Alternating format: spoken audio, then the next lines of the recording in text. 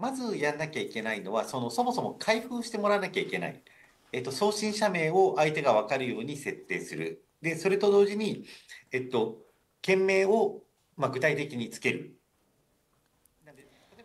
話を伺ったのは日本ビジネスメール協会の代表理事を務める平野智明さん全国でビジネスメールに関する講師を務めている平野さんにビジネスメールの極意を伝授していただきます。まずは取材した石山記者が以前から気になっていたことをぶつけてみました。私普段あのメールをお送りするときにあの書き出しを、えーと「お世話になっております」から始めてしまうんですけれどもこれってあの会ったことない人もこれでいいのかなっていうのをずっとちょっと迷っていて。一緒えっ、ー、と「お世話になっております」って言われた場合にそのどこで会った人かなっていうふうに相手も考えてしまうとそういうことがあるので、まあ、できれば「お世話になります」とか初めてご連絡いたします。福島テレビの何々です。日本語として正しいというよりは、相手がそれをどう感じるかで、相手が不快に思わないっていうことが重要になるので。平野さんが強調するのは、相手がメールを早く読んで、早く処理できるようにしてあげること。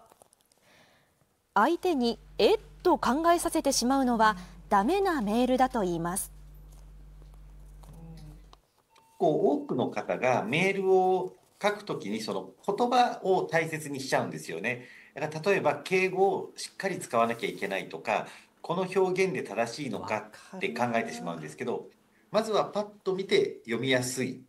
で、どうやったら読みやすくなるかっていうと、えっ、ー、と、ブロックごとに、あの、例えば宛名を書いたら1行開ける。挨拶名乗りをしたら1行開ける。で、詳細は極力箇条書きなんかを使いながら、えっ、ー、と、わかりやすく。わかりやすいメールのポイントは、宛名から始まって、挨拶、名乗り、そして最後の署名までの7つ。これらを踏まえ、ビジネスシーンでありそうなメールを平野さんに添削していただきます。メールの趣旨は、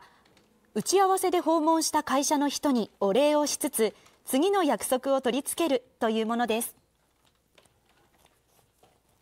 まあ、初めて連絡をするとかだったら一般社団法人って正式名称で書いた方がいいし、相手の役職とかフルネームが分かるんだったらそのそれも書いた方がいいと。挨拶開業、えー、会社名フルネーム、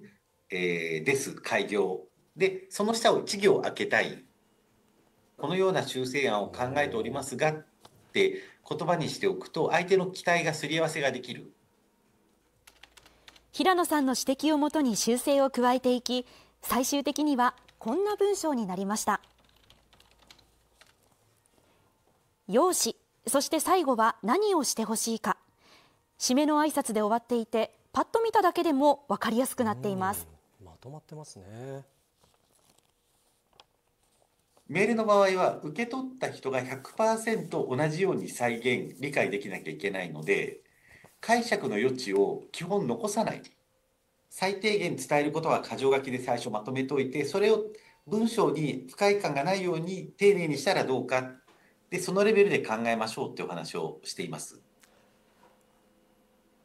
いや分かるなっていうのが多いですよね。不快感って今おっしゃいましたけれども、はい。うん、やっぱりこう失礼ないようにしたいからそうなるとやっぱだらだらだらだらこう長くなっちゃって、はい、噛み砕いてしまいますよねそうまあねいろいろ具体的に書きたくなっちゃう。古賀さんもあの、はい、アナウンサーのこう、みんなのメールで私連絡事項と送るじゃないですか。はいよくありますね。ちょっと長くないですか？あのたまにスマートフォンをかなりスクロールする時がありますね。そんなします？結構長いなっていう。結構しました。思いは伝わってます、はい、ちょっとやりがちですね。直したいです。え平野さんにメールで見かける文章や文言について必要なのかどうかこちら聞いてみました。まず時効の挨拶そして背景などの文言名前の後ろの「はい」まあ、よくありますけれどもこれ必要だと思いますか？私はこれ自分自身が意味をなかなか捉えられきれてないので、はい、難しいですね。ないと思いたいですね、はい、そういう豊島さんにこちら平野さんによりますとすべはい。て必要ないんだそうです、はい、メールでは時効の挨拶よりも相手が速やかに読める順番で要件を分かりやすく伝えることを考えてほしいとのことでした。えメールは相手優先を意識することが何よりのマナーなんだそうです